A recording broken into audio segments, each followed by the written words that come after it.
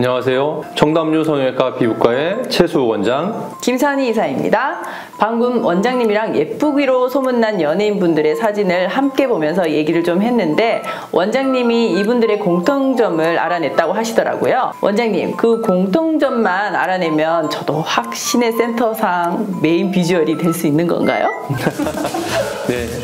이사님이 보여주신 사진 속의 주인공 분들이 너무 아름다우시더라고요. 한 분 한 분씩 소개해 주시겠어요? 이분은 요즘 너무 핫한 그룹 뉴진스의 비주얼 센터 민지님. 지금 봐도 확신의 센터상이시죠? SES의 유진님. 그리고 세계의 미녀 하면 떠오른 한가인 올리비아 하세까지 정말 다시 봐도 독보적이에요. 사실 요즘 연예인분들, 일반인분들 할 것 없이 예쁜 사람들이 정말 많잖아요. 하지만 이 네 분은 특별한 분위기라 할까요? 그냥 예쁘다에서 끝나는 게 아니라 어떻게 이런 분위기가 나지 하는 의문이 들 정도예요. 너무 알아내고 싶다고요. 사실 이 네 분의 얼굴을 하나하나 분석을 해보면 닮은 부분 도 있고 또 다른 부분들도 있습니다. 하지만 유심히 살펴보다 보면 네 분이 모두 가지고 있는 공통점이 있습니다. 이사님은 뭐라고 생각하시나요? 제 생각엔 코? 코인 것 같아요. 네 사람 모두 코 라인이 너무 예술이에요. 오, 예리하신데요? 그런데 제 생각엔 사람들이 독보적인 예쁨을 느끼는 이유는 코 하나가 아닌 것 같아요. 바로 전반적인 옆태라고 생각합니다. 옆태요? 그리고 보니 네 분 모두 옆태 미인으로 유명하기도 해요. 그럼 원장님, 네 분의 사진을 보면서 이 옆태의 중요성을 한번 알아보면 안 될까요? 네, 좋습니다. 그럼 바로 시작해 보시죠. 와 진짜 너무 닮았어요 두 사람 사실 민지님의 별명 중에 하나가 올리비아 민지라고 하더라고요 얼핏 보면 같은 사람이라 생각이 될 정도로 닮았어요 맞습니다. 두 사람은 정말 닮았어요. 둥글고 커다란 눈, 높고 곱게 뻗은 코, 그리고 도톰한 입술까지. 미인의 정석이라고 불릴 수 있는 조건은 전부 다 가지고 계십니다. 이렇게 정면에서 찍은 사진만 봐도 아 예쁘다 소리가 절로 나오기도 하는데요. 사실 이 두 사람의 아름다움을 극대화할 수 있는 각도는 정면보다는 살짝 틀어진 사측면, 측면 사진이라고 생각해요.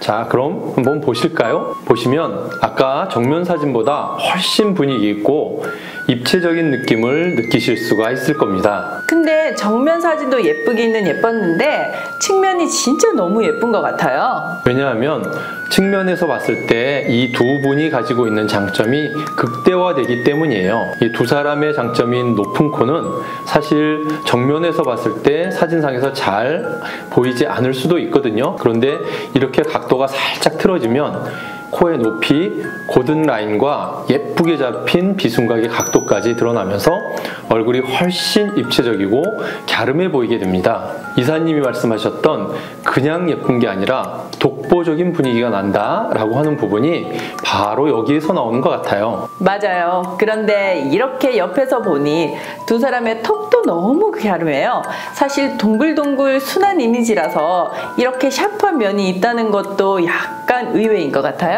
네, 맞습니다.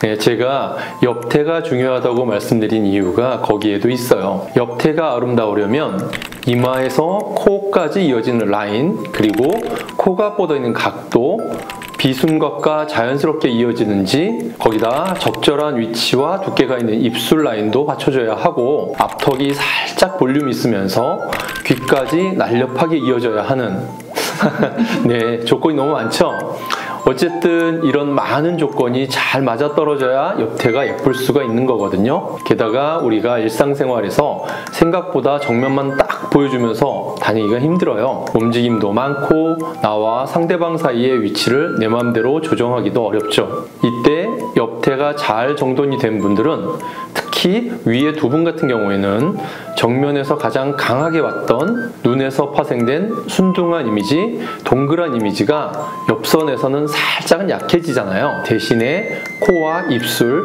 턱 라인에서의 똑뚝 떨어지는 샤프한 이미지가 그 자리를 대신하고 있죠. 내가 줄 수 있는 분위기가 풍부해지고 이미지도 다양해지면서 독보적인 예쁨이 더 드러나는 것 같아요. 유진님, 한가희님도 비슷한 경우네요. 두 사람도 앞에서는 사랑스러운 이미지, 동그란 이미지가 많이 나오는데 옆으로 각도가 조금만 넘어가면 범접할 수 없는 아우라가 생기는 느낌이에요. 네, 맞습니다. 정면에서도 잘 드러났던 고준 콧대는 측면에서 더욱 힘을 쓸 수가 있고 정면에서 잘 보이지 않았던 앞턱의 볼륨이 측면으로 넘어가면서 하관의 중심을 잡아주고 있습니다. 측면 각도가 자칫하면 밋밋한 인상을 줄 수도 있는데 이분들의 경우에는 조화로운 이목구비와 얼굴 구조가 그 측면의 단점을 오히려 장점으로 승화시키고 있는 겁니다. 이렇게 하나하나 분석해 보니까 옆태의 중요성을 더 알게 되는 것 같아요. 오늘부터 목표는 옆태민으로 설정해야겠는데요.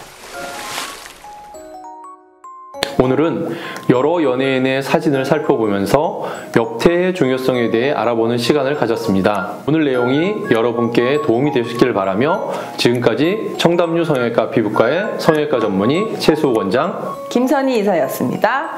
이 영상이 도움이 되셨다면 좋아요, 구독 꾹 눌러주세요. 눌러주세요.